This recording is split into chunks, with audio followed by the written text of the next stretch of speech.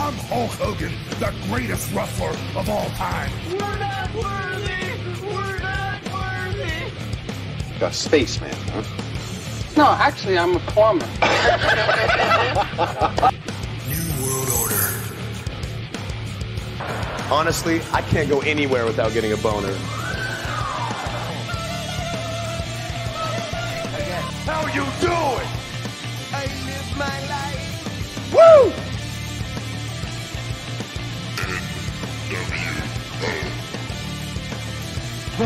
Says, Sweet baby Jesus in the office. Alors, mesdames et messieurs, bonsoir. Bienvenue à ce spécial Wrestle Rock Podcast. Je suis Nostradaben et me voici en compagnie de mon grand ami de toujours, Jonathan Drapeau et qui est Johnny D. Comment vas-tu, Jo? Yes, ça va super bien, mon Ben. On a fait une prise de un cœur. honneur d'être avec toi Et moi sur donc. ce plateau euh, pour faire plaisir à nos euh, Wrestle Rock Stars. Et euh, tu sais quoi, mon ami? Ben, ça a l'air que c'est une bonne nouvelle, mais je te laisse la partager avec les gens. Yes, dans le fond, on vient de passer la barre des 5000 abonnés sur notre euh, chaîne YouTube. Donc, on vous invite fortement à aller faire un tour. Super simple, vous tapez youtube.com slash WrestleRock Podcast et vous allez tout avoir notre contenu qui est euh, là jusqu'à présent. Et puis, des belles surprises, des, belles choses là, qui se passent pour nous. Euh, donc, euh, je te laisse poursuivre, mon ami. Aujourd'hui, on est quelle date? Le 5 septembre? Yes! Et qui est né le 5 septembre 1946? Il s'agit euh, du membre fondateur euh, du groupe Queen, Freddie Mercury, qui aurait eu quel âge? J'aurais eu 77 ans aujourd'hui. Et d'ailleurs, on, on va commencer avec le merveilleux sujet. Récemment, Yes. j'ai écouté le merveilleux film. comment ça le temps que j'allume, mais ça- ça ne donnait pas. J'ai écouté Bohemian Rhapsody avec Rami Malek qui incarne Yes. Le regretté Freddie Mercury dans, dans ce merveilleux film. Yes, puis comment t'as trouvé ça, mon Ben? Euh, Ouais, 9.5 sur 10. ouais. Pour avoir écouté euh, biopics. euh, plusieurs biopics, tu sais, comme Rocketman, The Dirt, que t'as écouté. Ouais. Euh, t'as écouté aussi Elvis. euh, Elvis. Euh, c'est lequel que qui t'a fait le plus triper? Bon, on va te dire que oh, je pense Bohemian Rhapsody. battre, Quoi que hein. j'étais un grand fan de Motley Ouais, Crue. ouais, ouais, Il est vraiment difficile à se battre. Honnêtement, c'est super bien fait. Puis on se rend compte vraiment que Freddie Mercury, euh, euh, Il y avait des démons. Hein? il y avait des démons. Ouais, ouais, il y avait des démons. Puis euh, à cette époque-là, ben, tu sais, euh, il était comme. On va se le dire, là, il était. euh, il était bisexuel.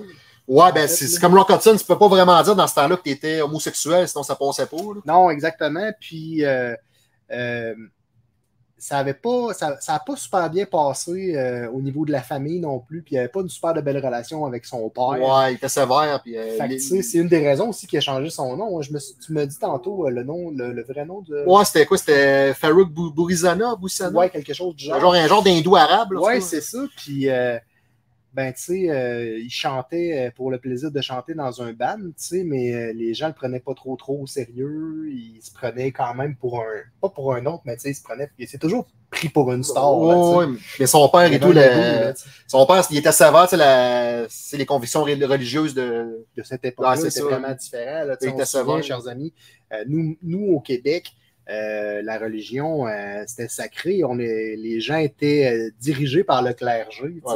Ça, maintenant, ça a beaucoup évolué, ça a beaucoup changé. Une chance. Il y a eu des ouvertures, tout ça. euh, Autant au niveau de la religion qu'au niveau euh, du LGBTQ, comme on peut dire. Dans le temps, il fallait payer des dîmes, là, on n'en paye plus de dîmes. Non, non, c'est ça. Fallait aller à la messe le dimanche, fallait, euh, voyons, euh, sacrifier avant le carême, le jeûner, là. Yes. Faire des sacrifices avant le carême. C'est À ça. cette heure, c'est moins sévère. là, Et puis, ben, dans le fond, c'est comme un- une formation de deux bands, Queen. hein. C'est comme lui était dans un band, qui a découvert un autre band qui sonnait vraiment comme qui sonnait le Queen qu'on entend, qu'on entend encore aujourd'hui. Il a, Mais il a viré le leader de fil en aiguille, il a viré le leader. Ouais, parce c'est qu'il ça. était tellement charismatique sur une scène, ce gars-là. ils ont commencé dans des petits bars. Puis, Ouais. tu sais, euh, il a développé son personnage euh, excentrique qu'on connaît, qu'on connaissait, tout ça, tu sais. J'ai une petite anecdote à te raconter. Tu connais la tune Killer Queen? Ouais. Ben, je l'ai écouté sur mon cellulaire cette nuit et euh, je sais pas si le monde, vous l'écouterez, le monde, vous, vous direz ça dans, dans vos commentaires. Yes. Et je trouve que la tune, euh, il y, a, il y a des bouts dans la chanson qui ressemblent étrangement euh, aux Champs-Élysées de Joe Dassin. Ouais, ça se peut. C'est oui, c'est certain. D'ailleurs, euh, juste pour un petit rappel, Euh, vous pouvez nous rejoindre au youtube.com WrestleRock Podcast sur notre euh, chaîne YouTube.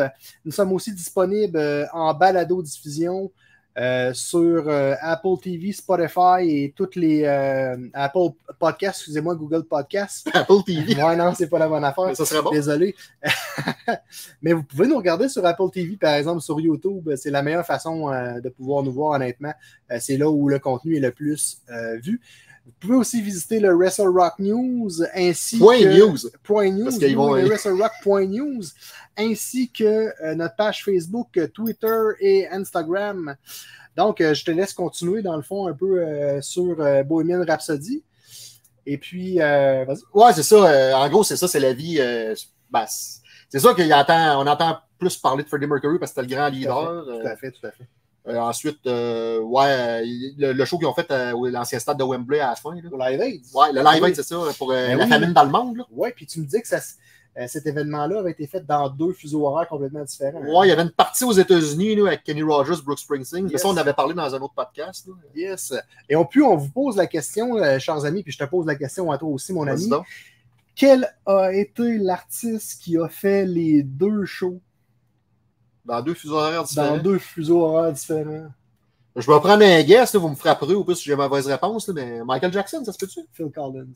Michael Collins. Jackson, je pense qu'il avait fait les deux. Ça se peut qu'il ait fait les deux. Ouais, Je me Collins, souviens pas, mais je sais que Phil Collins, je vous confirme à 100% que Phil Collins a pris un, un hélicoptère et qu'il a fait les deux. C'est la première fois qu'il faisait un show- à Wembley. là. Il en a fait un en Ouais. 87 avec Genesis. D'ailleurs, que je parlais à Martin Lévesque, il allait mettre au the Sea. Puis euh, ils ont. euh, il avait fait un pour. euh, C'était le show de. Voyons, euh, tu sais, quand Nelson Mandela a eu 70 ans en Ouais. 88, là, Ouais. il avait refait un show. euh, il y avait Whitney Houston là-dedans, il y avait George Michael. D'ailleurs, dans le film Bohemian Rhapsody qu'on jase ensemble, Benoît, il y a une, une scène, moi, c'est ma, ma scène préférée que je trouve. Ouais. Euh, c'est au moment où est-ce qu'ils vont justement enregistrer la chanson Bohemian Rhapsody. Ouais. C'est une chanson qui dure comme euh, 7 minutes. Puis, euh, sais, on voit vraiment tout l'envers de la construction de cette chanson-là. Ah. Puis, tu sais, euh, le producteur qui est pas euh, satisfait, euh, qui dit que ça passera jamais à la radio parce que c'est trop long, c'est trop mélodique, tout ça. C'est les Puis encore aujourd'hui, on l'entend à la radio, tu sais. Puis je voyais, je trouvais ça tellement le fun de voir à quel point Freddie Mercury était passionné et était perfectionniste. Tu sais, quand il dit, euh, il y, a- il y a un bout où est-ce qu'ils font le- l'espèce de Galileo, là, puis il fait répéter, répéter, puis répéter, puis répéter à peu près comme 100 fois, jusqu'à temps qu'il soit comme. Parce que c'était un gars qui se donnait corps et âme dans ce qu'il faisait. Ouais. Exact. Puis il était très, très innovateur aussi. Il utilisait tu sais, des façons de créer de la musique avec, avec des objets, puis tout ça. tu sais, C'était hors du commun. À, l'époque, les gens ne faisaient pas ça. À part les Beatles qui ont souvent un peu innové dans ce milieu-là, Ouais. il n'y en avait pas beaucoup à l'époque qui avaient, euh, qui avaient innové. Ben, Michael Jackson et tout, il se donnait corps et âme. Ouais. Elvis aussi. Il y a Ouais. des artistes. euh, As-tu vu euh, le, euh, le, le reportage It, l'espèce de tournée que Michael Jackson allait déployer? Ouais, ben, il était supposé faire ça à Londres. là. Oui, à Londres, avant. avant qu'il décède? C'est incroyable. Ben, ça fait longtemps, j'ai peut-être vu, là, mais ça fait un bout. C'est un peu le même principe. Il était très, très. Il forgeait très fort sur les euh, sur l'équipe puis tout ça. euh, les gars étaient patients. Puis, euh, ouais. Parlant du live il y a- il y a beaucoup d'événements qui se sont passés à ce stade-là, le, le vieux stade. On parle de SummerSlam 92, puis on parle de Evil Cannibal, les cascades qu'il faisait à moto, Ouais, à 20 fait. chars. là. Yes, ça a été passé au, euh, au c'est vrai, tout à fait. Les tout shows à de. Gen- show de Genesis en 87. Oui, exact. Céline Dion et toi, elle l'avait rempli euh, en 99, si je ne m'abuse. J'en ai aidé, ça s'appelle le ben, Stade de France? Ah, ça se peut qu'il y a Wembley. Ouais, j'imagine. Il y a tellement d'artistes qui, qui sont fait connaître. euh, Yes. Alors, euh, avais-tu autre chose à, à rajouter, mon ami, à propos de ça? Ben, l'interprétation de Rami Malek est exceptionnelle. Oui, tout à fait. On jurait que c'est lui, sérieux. Là. Oui, puis d'ailleurs, il a gagné un Oscar cette année-là. hein. Ouais, c'est vraiment Je cool. peux te faire un exemple comique? Vous allez peut-être. Peut-être tu vas penser à la même chose que moi, mais tu sais, quand il est jeune, avant d'avoir le petit pinch, les cheveux courts, quand il a les cheveux longs, là. Ouais. Ben, Chris, il me fait penser à Jean Leloup. Ouais, c'est vrai. Vous trouvez pas? Vous pouvez, vous pouvez, euh, vous pouvez commenté. Ouais. Yes. Euh, puis sinon, euh, on sait que son, euh, est tombé en amour avec euh, son, euh, son producteur. Et puis, euh, son producteur était très néfaste. Ouais, c'était voyons, comment on dit, un poison, c'était bon, c'était un bandit. Là. Ben, à la fin, il le congédie puis le sac dehors, le jeu qui sort de ma vie. puis- Yes, exact. Puis c'est lui d'ailleurs, ben, on soupçonne que c'est lui qui aurait donné peut-être l'hépatite C ou peut-être, on sait pas. le sida, à force hein. de. ouais.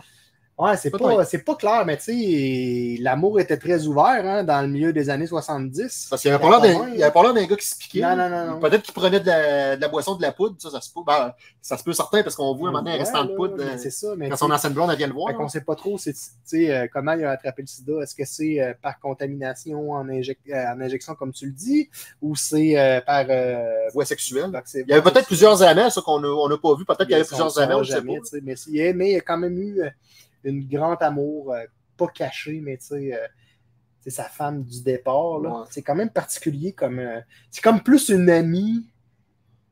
Ouais, ben là, c'était pour camoufler son homosexualité, probablement. Ouais, il s'est rendu compte à 30 ans que finalement, il, il était gay. Ben parce ouais. qu'il y en a beaucoup que c'est ça. Son... Il y en a des gars, ils ont eu des enfants, ils ont eu des. euh, Je n'aimerais pas de nom parce que je vais me faire poursuivre. là.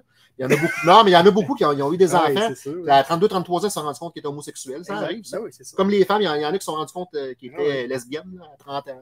Ça, arrive, là. Yes. Et tout ça qui, malheureusement, finalement, ben, tu sais, euh, la médecine n'était pas encore très, très évoluée pour comme ralentir. Ben, il prenait des médicaments pour ralentir la maladie, mais malheureusement, la maladie l'a emporté. Ce temps, avec la trithérapie, tu peux vivre plus longtemps. Ouais, c'est ça. Il y a des médicaments. puis, euh, Parce que dans le temps, c'était ça. Tu avais genre 20 pelules à prendre pour. Euh... Temps, peut-être juste une pelule ou deux. Puis, euh, Ah, ça a beaucoup évolué, là. ben, c'est ça. Il y avait beaucoup de préjugés. Il y avait beaucoup de. Ben, c'est ça. Pas de médicaments, beaucoup de préjugés. euh, Puis, le monde avait peur. Là. Dès qu'ils pensaient qu'on pouvait, euh, pouvait pogner ça en s'assisant sur la bolle. là. Et puis, euh, par la suite, euh, plusieurs années après, on, on parle de plusieurs dizaines d'années après, euh, Ben, 30 ans après sa mort. il y a un chanteur du nom de Adam Lambert qui a gagné, Ameri- pas America's Got Talent, mais American Idol.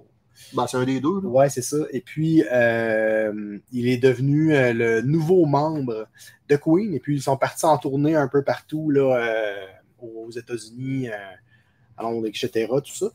Puis, on a aussi un, euh, une personne euh, bien de chez nous. On parle de, de Marc Martel, qui a fait aussi euh, Queen The Extravaganza, qui imitait dans le fond Ah oui.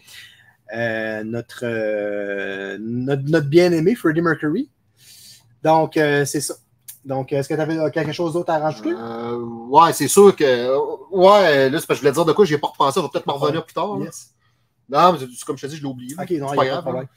Donc, euh, alors, c'est ici que se termine notre émission euh, sur euh, Queen, euh, le film euh, Bohemian Rhapsody. J'espère que vous l'avez apprécié. Et puis, gênez-vous pas à partager, euh, nous suivre sur les médias sociaux, commenter. Euh, ça nous fait toujours plaisir. Donc, euh, ben, merci, mon Ben. Ben, ça fait plaisir. Yes, sir. On se retrouve dans quelques instants pour un spécial sur des nouvelles de la lutte, mesdames et messieurs. L'action ne manquera pas. Au revoir.